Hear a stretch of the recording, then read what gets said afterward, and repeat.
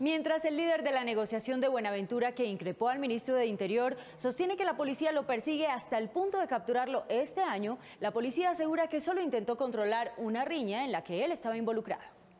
Quiero la denuncia pública porque hoy encuentro que mi vida está peligrando en manos de la fuerza pública. El líder del paro cívico en Buenaventura, Isaías Fuentes, denunció arbitrariedades de la policía del distrito en el momento en que fue arrestado en la madrugada del viernes. Un objetivo militar frente a uno que participó en el paro cívico. Isaías Fuentes es el promotor del paro que se enfrentó a gritos al ministro del Interior Guillermo Rivera cuando le reclamó las acciones del SMAT contra la población que se manifestaba en contra del gobierno nacional.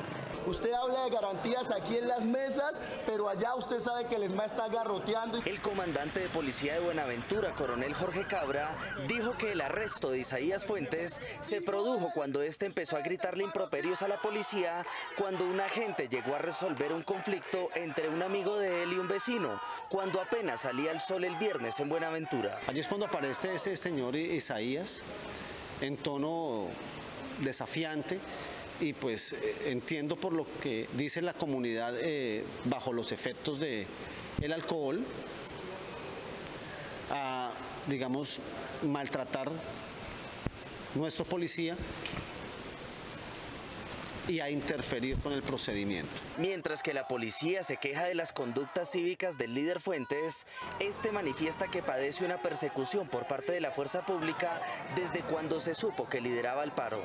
Yo estaba mediando un conflicto entre dos, dos, personas, una persona tenía un arma, yo medio el conflicto, a mí me traen para el calabozo, la persona del arma la tienen libre, a mí me amordazan. Isaías Fuentes estuvo arrestado por seis horas. Al ser dejado en libertad, fue acompañado por un grupo de manifestantes que le pidió a la policía dejar de utilizar la violencia como forma de mitigar la protesta.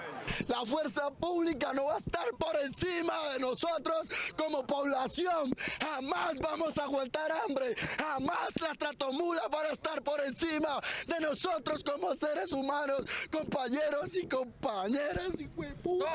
La policía de Buenaventura resaltó que fue un procedimiento de rutina en el cual Fuentes posa de víctima.